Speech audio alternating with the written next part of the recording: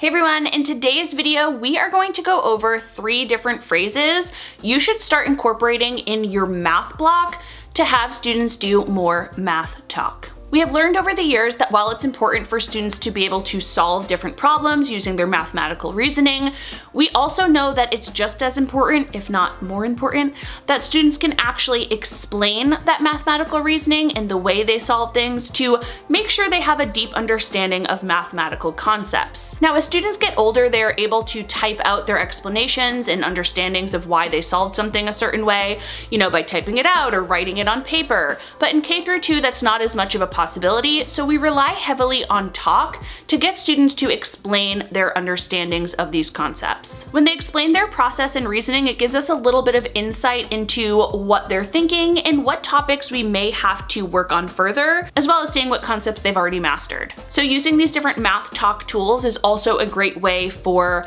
teachers to really kind of assess their students' knowledge. If you've seen my videos before, then welcome back, and if you are new here, my name is Susan Jones.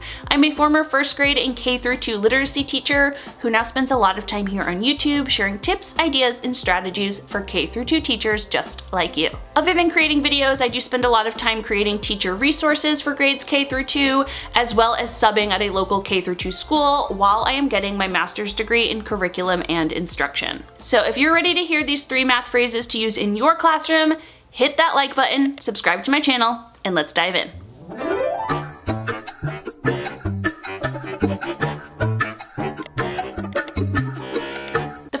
You should really try to incorporate in your classroom is what did blank do? Blank meaning the name of a student. When we pose a mathematical question to our class, let's say I put a story problem up on the board and I want students to solve it, naturally I'm going to ask a student or two to share their answer. When they share their answer, I ask them to explain more, tell me more about their process. So Really, that's another math phrase you could use. I'm not going to include it in this video, but make sure you're asking them to explain or tell me more as well. Because when they're doing that, they are explaining their process.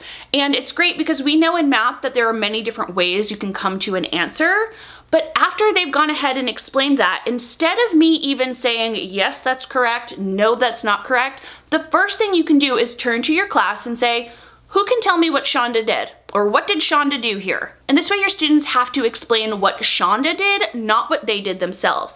They may have solved it a different way, but I want them to restate and explain the process that Shonda went through to get the correct answer. And you don't wanna ask for this just one time, you wanna ask this over and over. So you might have student A go ahead and explain what Shonda did, ask another student, ask student B and student C, and have them all restate what Shonda did. Now, if they start to say something that was incorrect or something that Shonda didn't actually do, I try not to clarify it myself. I try to put it back on Shonda, the student who shared the problem, and ask her to clarify. And of course, if they need my help, I will step in, but I really try to have the student to student interaction to teach one another. Not only does this type of math talk promote a deeper understanding of different processes, like I mentioned mentioned earlier, but it also promotes really intense listening that students will have to do as this becomes a regular process in your classroom. Students will get used to the fact that as the teacher, you're not just gonna call one student up here, solve it, and then go on to another problem.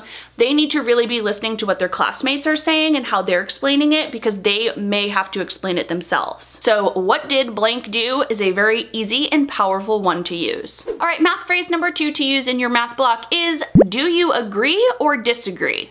why. Again, this is a great phrase for getting students to really listen intently to one another because they're having to decide do I agree with what you said? Do I not agree? And you have to explain why. But also this is another one where the teacher, you are not jumping in and saying, yes, that's correct, or no, that's not correct. You are letting the students decide and putting the learning back on them. Do you agree with the way that Bobby solved this? Do you agree with what he said? Is there anything you might change about what he said? Why? Why not? And you're always pushing for that explanation as to why or why not to back up their reasoning. In K through 2, this can be a simple thumbs up or thumbs down process as well.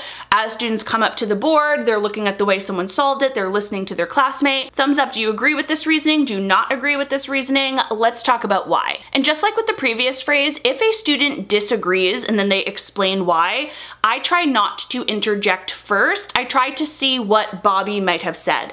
If Bobby got the wrong answer and another classmate disagrees with their answer and explains why, I wanna ask Bobby now, Hmm, what are you thinking? Do you agree with that? Let, us clarify this a little bit more. I again try to put it back on him. This is important for students to realize that number one, you are not, again, as the teacher, the all-knower in the classroom. Students in the class have the answer, they know the answer, they can solve it in different ways, and your students can learn from their peers. This is also a great way for students to practice agreeing and disagreeing with one another and having productive, even if they're difficult conversations in a safe environment.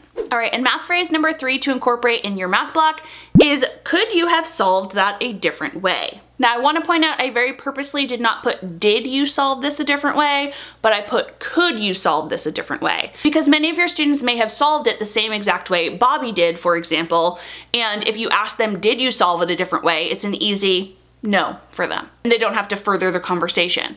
If you ask, could you solve it a different way? Is there another way to solve this and find the answer?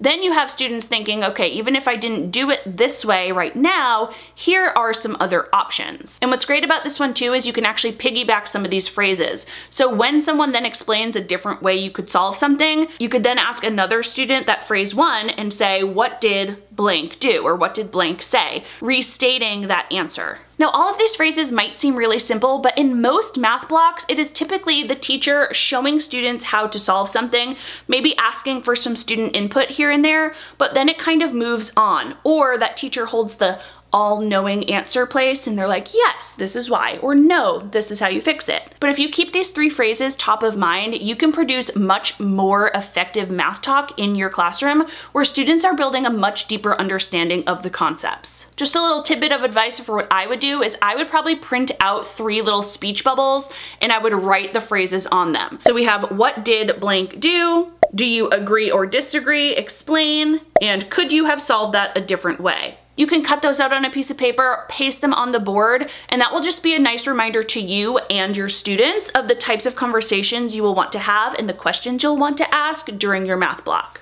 All right, there you have three different math phrases you can take and use in your classroom right away. I hope this video was helpful for you, and like I said, while each of those phrases might seem easy, and they are easy to say, it's more of like a reminder to yourself as the teacher to make sure you're using them. Let me know which of the phrases you're gonna take and use in your math block. As always, I hope you enjoyed this video. If you did, please give it a thumbs up so I know. Make sure you are subscribed to my channel and click that bell.